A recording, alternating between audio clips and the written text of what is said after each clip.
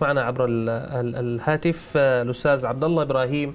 عبد الله نائب رئيس حزب منبر السلام العادل. مرحبا بك. السلام عليكم ورحمة الله تعالى وبركاته. أخي شاكر تحية لقناة سيد الفضائيه وتحيه للمشاهدين الكرام ولضيفك الكريم.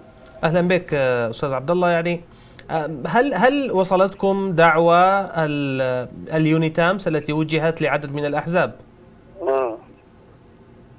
لا لا لم تصلنا دعوة حتى الآن. إحنا سمعنا هو حديث أو كان المبعوث الأممي فولكر آه حول الحوار السوداني السوداني. تصلنا حتى الآن دعوة. نعم. طيب ما هو موقفكم عموما من من من هذه المبادرة مبادرة فولكر؟ آه نحن في منبر السلام العادل نأكد على آه موقفنا الرافض لاستخدام البعثة الأممية آه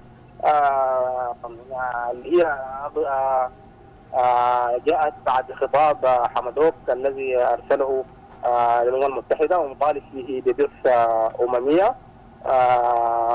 حينها قلنا رأينا واضحا إن هذا الأمر ينقص من السيادة الوطنية للسودان. ولكننا مع الحوار الوطني ومع الحوار الجامعي الحوار السوداني. السوداني هذا هذا هذا هذه حملت إشارات فضفاضه هي يعني هو تحدث عن أصحاب المصلحة الرئيسيين. هذه الكلمة حماله أوجه. فبالتالي نحن مع الحوار الحوار السوداني السوداني الخالص. الشامل لكل الشعب السوداني دون استثناء لأحد. طيب فيما لو فيما لو تمت نعم. يعني دعوتكم لهذا الحوار بشكل رسمي رغم رفضكم للبعثة واستخدامها هل يمكن أن نجدكم على نفس الطاولة على نفس طاولة اليونيتامس؟ آه نعم هذه هي هي أصبحت سياسة أمر واقع وهي اصبحت الآن في السودان وهي من زمن بعيد بين مجلس الوزراء وهي موجودة يعني حتى تفاقم الأمر في السودان ووصل للافق ولكن نحن نحن نحن نؤمن إيمانا قاطعا في منبر السلام العادل بعملية الحوار وهل حلت مشاكل السودان عبر الحوار؟